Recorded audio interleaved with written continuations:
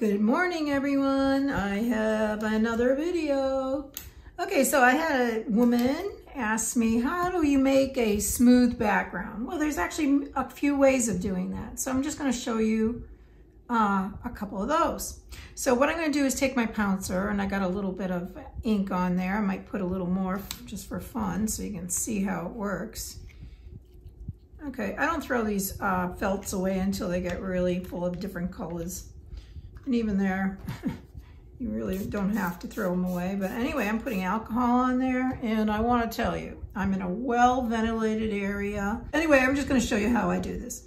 So I get it all juiced up and now I'm just gonna smear. And look, at I got a few colors on there. Who knew? But it doesn't matter because I'm just showing you how this, because it's juicy enough, and I actually could use more, really get it sopping. Because when you do, you can see how it's softening, but, and these make great skies. And I'm not gonna make a big sky. Well, maybe I'll give it a feeling of a little sky. but even though there's texture, it'll fade. So if you know that you're gonna be making um, some, let's say a landscape or something, and you're smearing it all over, so you got that, doesn't matter because it's going to turn into trees and bushes and whatever. The other thing you can do, I'm going to turn this over. You can see how it fades and softens down. So when you do a, a something in front, it comes forward and it pops out. The other thing I wanted to show you was you can take a little alcohol, put it in some blue. I'm using a pipette. I'm gonna stir it around a little bit so it gets nice and juicy and mixed. I'm gonna put a little more alcohol in it. I want this pretty fluid. Now I'm gonna absorb it.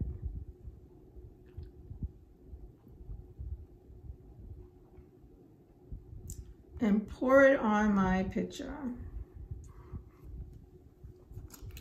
Now I can play around this way. I can smooth it with the pipette. You can use anything. You can move it this way and that way. And that's how you get another smooth texture. So you can see how that works. You can use a brush, the back of a brush and move it. So you're, but the, the fluidity of the ink is what makes it so you can make a nice thin background. Now, if you're doing a landscape, you actually want the top of the area to be darker than the bottom. So just turn it. And it makes these beautiful marks. Looks almost like a, like a landscape in itself. And like my fan, being that I have my fan going on, it really helps me dry it. And, uh, and plus it's good for your, uh, you know, for, for ventilation. So that's how you do that. Let's let that sit a minute and then I'm gonna do a, a quick painting just so you can see how it works. So I'm going to go into some black. And I'm just going to split a line. Now my black is a little juicier than I should have had. Not a big deal. No panic. Just come back with thicker ink. Turn it. And have it pull towards yourself. Like I say, I'm not really working very hard at this, but I wanted to give you the idea how the uh, effect would be. Okay, now I'm going to turn it back around and work on my tree. Now there's hardly any ink on my brush, so now I'll make little squiggle marks and it makes perfect branches. See that? Don't work so hard. I know you all work so hard to get that perfect little branch. Don't do that. Make a mess. You'll make prettier branches. This time I have dark again, so I'm just gonna bring it out a little bit where I know I want some darker little branches. Bring branches into your space too. Don't always have them always going off the side. Bring some into your space like that. Do you see how it comes forward? A lot more interesting, don't you think? And cross over these lines. Do you see when you cross over the line? It connects things up. And now I got less on my brush, so now I'm gonna make some more of those little wiggly squigglies. Make the squiggles, you love it. Look how beautiful that looks already. And like I said, I'm just doing silhouette today. You can use any color. You could use greens, you can use black, anything as long as it's dark. And I'm gonna bring that down. Work on my trunk.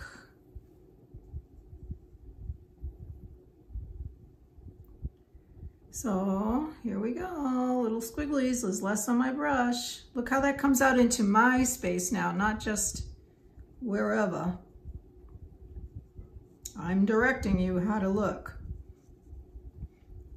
So pay attention to how much ink is on your brush and use it where you need it at that point in time rather than like uh, always reloading all the time. It's like, okay, well I need a lighter here to make it look like these are behind or I need a darker here and now I'll save that for the beginning make a little root.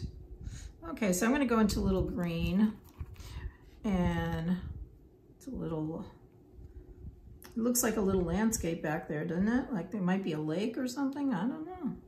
So let's put another uh, scribble. And then uh, just put some alcohol and let us dance in the background. And it's pretty juicy, so I'm getting a nice effect.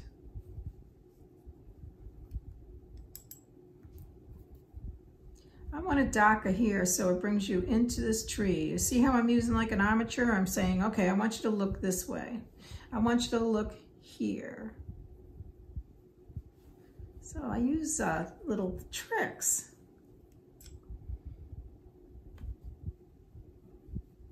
And you see how it smooths out when it gets a lot of alcohol? Now I'll scribble right behind there. That's fine. I got enough green on my brush, but yet it's soft. It breaks up some of that red. Okay, so let's see. What else can I make this beautiful? I just put some more dots in here because I really want it silhouette and let's make this tree really dramatic. So I, am gonna make a little more green here. I'm using a lot of alcohol again, because I wanna make it flow.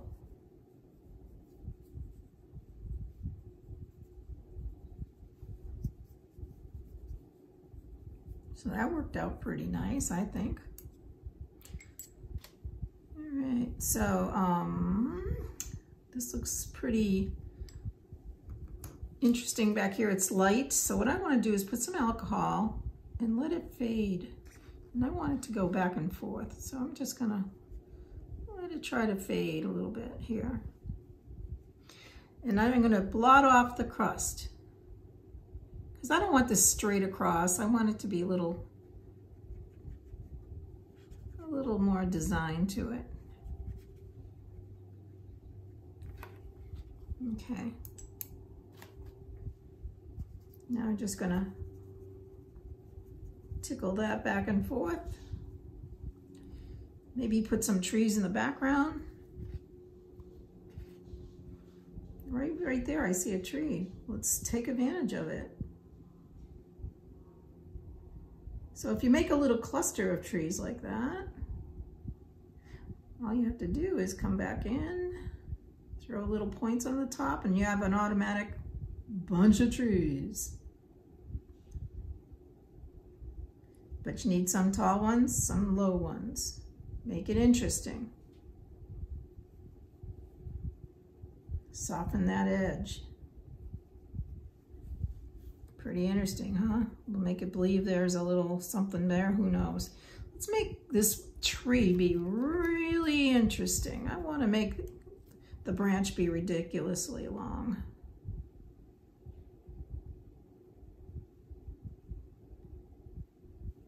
And now I can work on this tree a little more. Maybe bring it down and now there's less on my brush so I can squiggle more branches. Not all branches are long, make little dots. Look how pretty that is.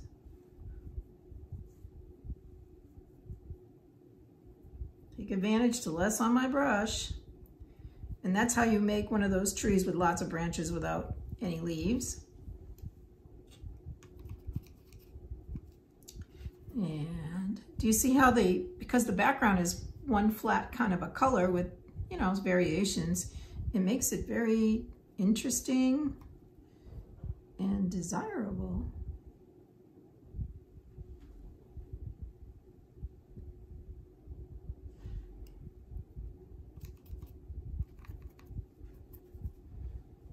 And let's uh,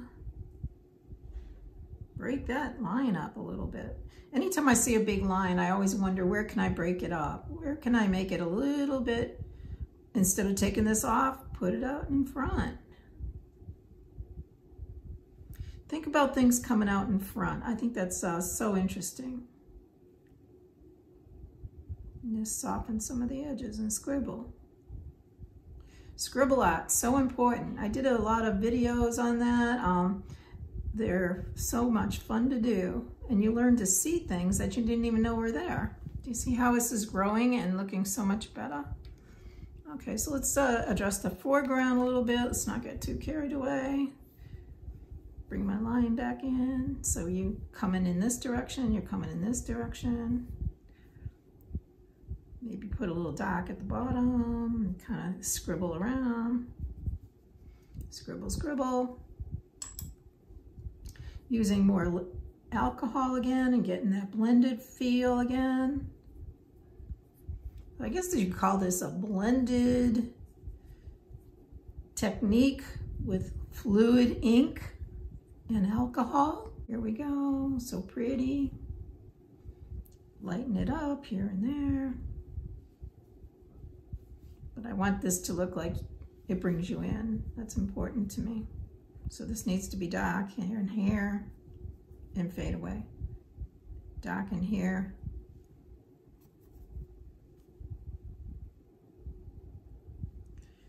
And fade away. But what am I doing? I'm pointing you to where I want you to look. This is my center of interest. And I'm just fluid. Let the fluid run. Bring that right into the tree. If it's too fluid, it'll break your tree up. So make sure your brush doesn't have too much on there. That looks pretty nice. If you notice your tree got too much darkness or too much light, you know, just tap on it and re reload and goof around and you'll regain your control. And let's put this one in front. How interesting is that compared to just leaving it on the edge? Get a little bit more line work. You know, don't try to be perfect with your branches. Um, they're not perfect at all. They, they go every which way. That was a little juicy. So I might take that down here. Do you see how this line brings you right in and right in here and right down into here? People don't notice that. They just think it's a pretty picture. Okay, so I'm just gonna break this line up a little bit.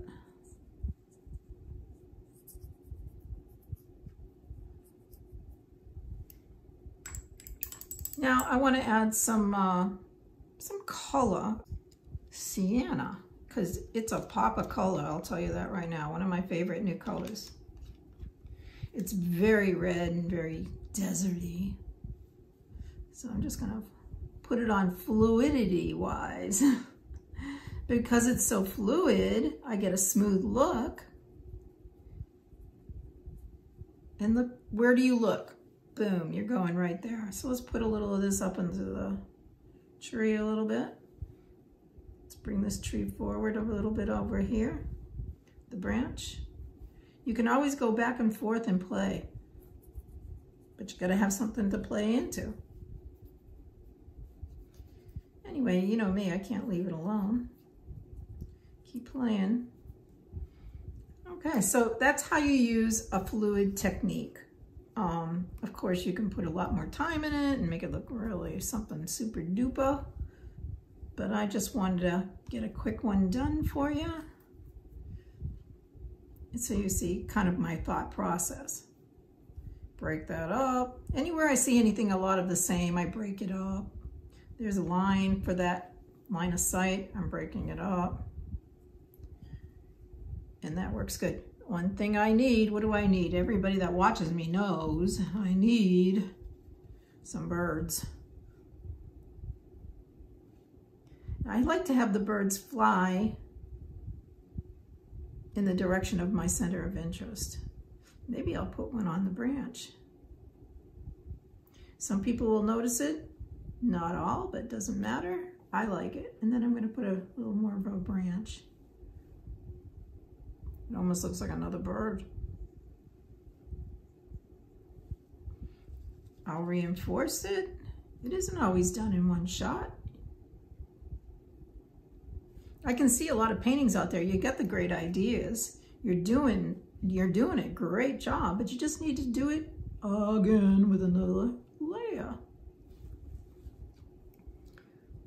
And let's bring one more coming over to our spot. Just to kind of, but I want to cross over this a little bit. So it pushes that back. So what does that, that pushes my trees back a little. I'll make it bigger even. See how I can change my mind? You've got to understand how wings work. Once you understand how the wings are, are on a bird, you'll make more convincing birds. So just really check out the anatomy a little bit. Okay, there you go. Put a little highlight here with a wet brush. Oop, too juicy. I'm rushing.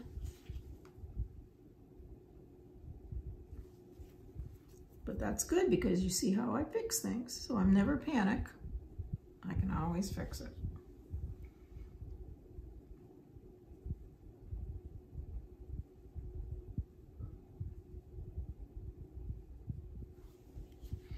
And you, if you have your handy dandy lifting pen, just get it done and get it over with.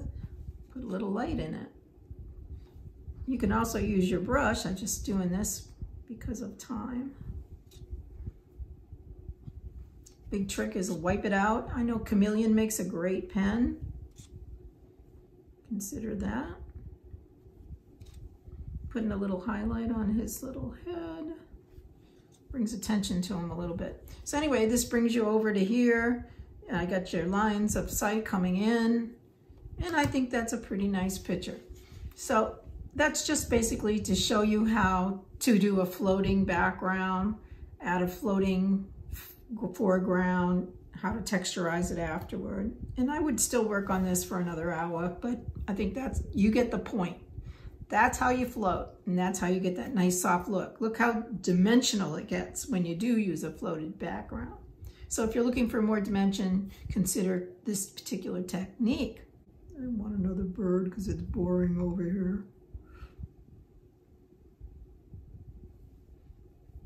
Let's make one, you know, they like friends, so I gotta make a few more. There you go, good enough. All right, and there's three. Things work nice in threes. Okay, until next time, happy painting.